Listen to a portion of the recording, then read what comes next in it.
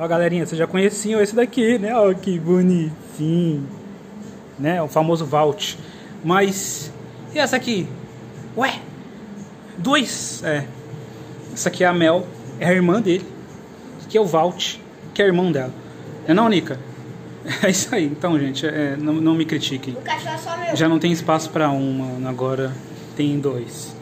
O Vault e a Mel.